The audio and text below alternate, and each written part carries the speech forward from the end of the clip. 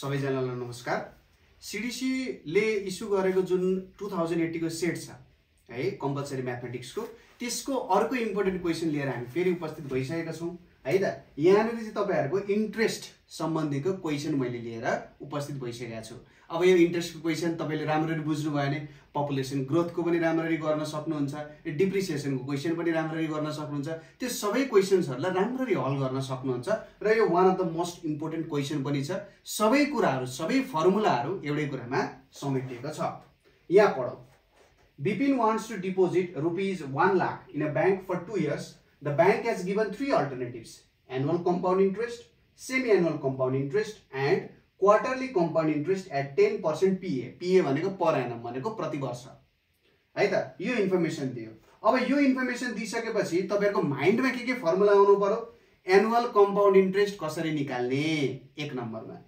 दोस्रो नम्बरमा semi annual compound interest कसरी निकाल्ने र क्वार्टरली कसरी निकाल्ने? त्यो फर्मुलाहरू तपाईँको माइन्डमा आउनुपर्छ। अब फर्स्ट क्वेसन एकदम इन्ट्रेस्टिङ क्वेसन छ। के भनौँ which one of the three alternatives gives more interest to Bipin यहाँनिर कसले चाहिँ सबैभन्दा बढी ब्याज दिन्छ भन्ने कुरा छ। र यसलाई सजिलैसँग बुझ्न सकिन्छ।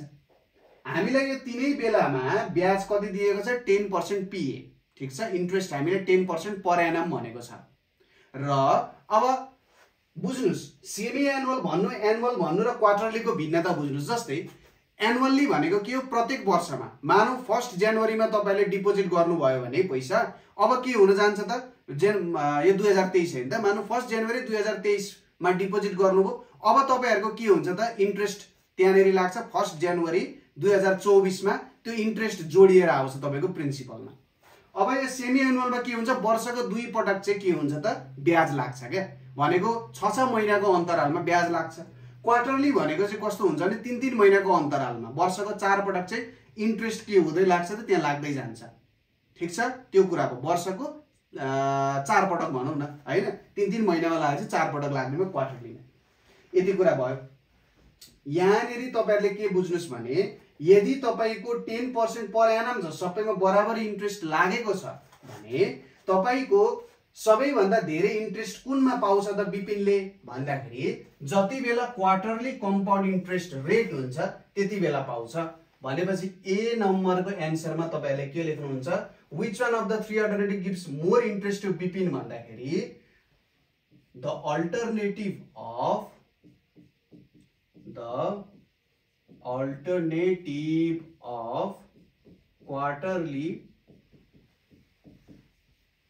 quarterly compound interest. Quarterly compound interest gives more interest भनेर लेखिदिने। मोर इन्ट्रेस्ट भनेर लेखिदिने। यति लेखिसकेर चाहिँ तपाईँहरूको वान मार्क्स आउँछ। उसले त्यही चेक गर्न खोजिरहेको छ कि तपाईँहरूले इन्ट्रेस्ट रेटको कुरा बुझ्नु भएको छ कि छैन। ओके यति कुरा भयो। दोस्रो नम्बरमा के भनेको छ? According to semi annual compound interest how much compound amount will get at the end of two years अब यदि हामीले सेमी एनुअल कम्पाउन्ड इन्ट्रेस्टको रुल युज गर्छौँ भने लाइन त धेरै बाङ्गो भयो है। अलिकति सिधा लाइन बनाउँ ल। यहाँनिर according to semi annual compound interest भनेर भन्यो भने how much compound amount will get at the end of two years भनेर सोधिरहेको छ। अब बी नम्बर एन्सर लेख्दा कसरी लेख्नु पर्यो? हाम्रो प्रिन्सिपल कति दिएको छ? एक लाख। अघि भर्खर हामीले हेरिसकेका छौँ। हामीले एक लाख दिएको छ। इन्ट्रेस्ट रेट कति दिएको छ? रेट भनेको टेन पर्सेन्ट पर एनम भनेर दिएको छ। टाइम भनेको कति दियो? टु इयर्स भनेर दियो।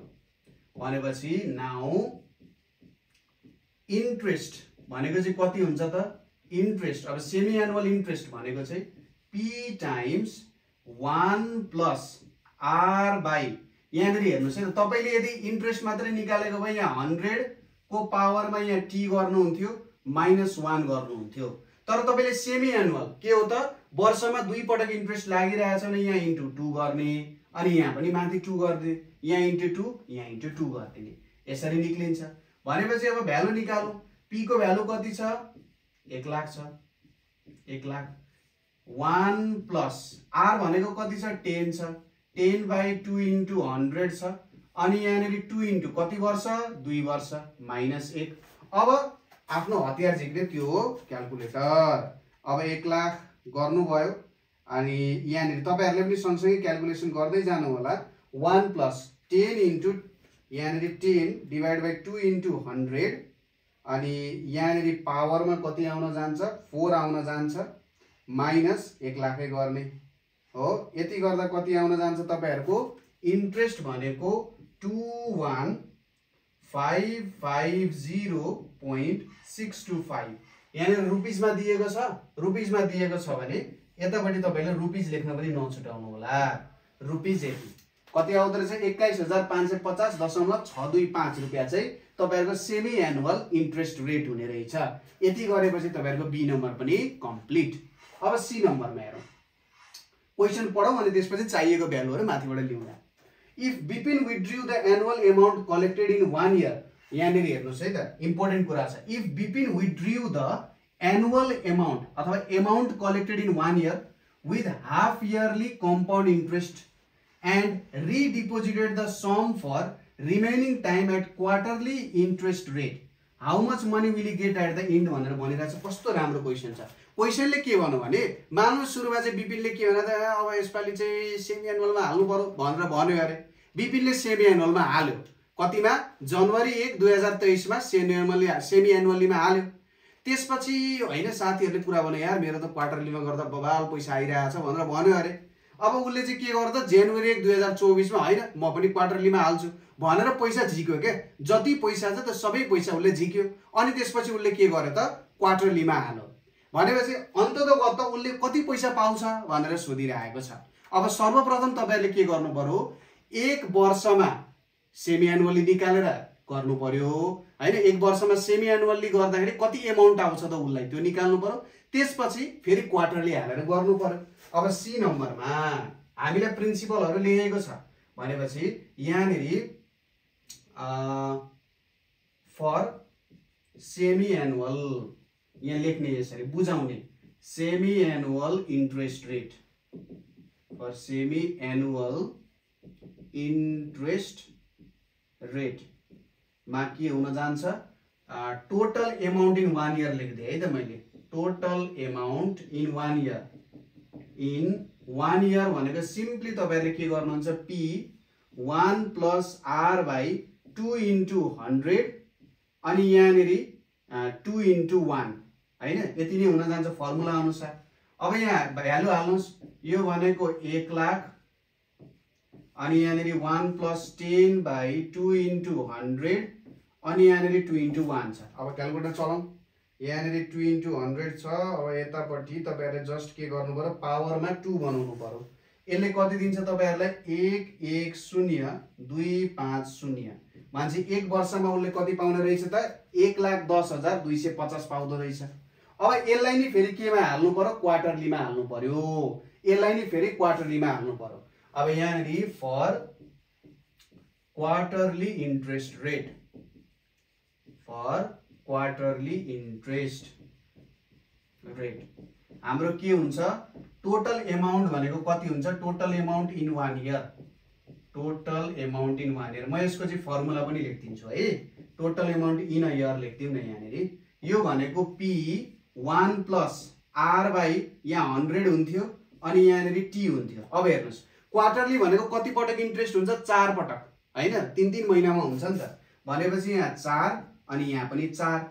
अब यसले कति दिन्छ भ्यालु अब यहाँनिर पीको भ्यालु कति हाल्ने त? यो पीको भ्यालु यो भ्यालु हाल्ने। किनभने यो पुरै पैसा तपाईँले इन्भेस्ट गरिदिँदै हुनुहुन्छ नि त फेरि। भनेपछि यो भ्यालु हाल्ने कति हुन जान्छ? एक एक शून्य दुई पाँच शून्य। दुई पाँच शून्य। यहाँ एक प्लस दस बाई चार इन्टु सय। अनि यहाँनिर चार इन्टु एक। अब भ्यालु क्यालकुलेट गरौँ। यहाँनिर एक एक शून्य दुई पाँच शून्य इन्टु वान प्लस कति हुन्छ? दस बाई चार सयको पावरमा चार। भनेको कति आउँछ यहाँनिर पैसा? अन्तत कतो उसलाई आउने भयो एक दुई एक छ नौ पाँच पोइन्ट तिन सात भनेर लेखिदिउँ न। छ नौ पाँच पोइन्ट तिन सात। यसरी तपाईँले निकाल्न सक्नुहुन्छ र यसरी निकालिसकेपछि फुल सोल्युसन तपाईँहरूको भयो। अन्तत गत उसले कति पाउने रहेछ? एक लाख एक्काइस हजार छ सय पन्चानब्बे पोइन्ट तिन सात रुपियाँ चान्चुन उसले पाउने रहेछ। यसरी गर्नुभयो भने त कुरा भइहाल्यो। हो यसरी नै गर्दै जाने। सबै क्वेसनहरूलाई यसरी नै मिलाउँदै जाने। एक एक क्वेसन हेर्नुहोस् त प्रत्येक क्वेसन एक अर्कासँग रिलेटेड छ। प्रत्येक क्वेसन एकअर्कासँग रिलेटेड छ। र यसरी निकाल्दै जाने यो कुरा नबिर्सिने यो कुरा नबिर्सिने यो भ्यालु यहाँ हाल्नुपर्छ भन्ने कुराहरू त्यही भ्यालुले यहाँ हालेर त धेरै पैसा आउँछ न त के को पैसा आउँछ आउँदैन। यसरी गर्नु पर्यो है त?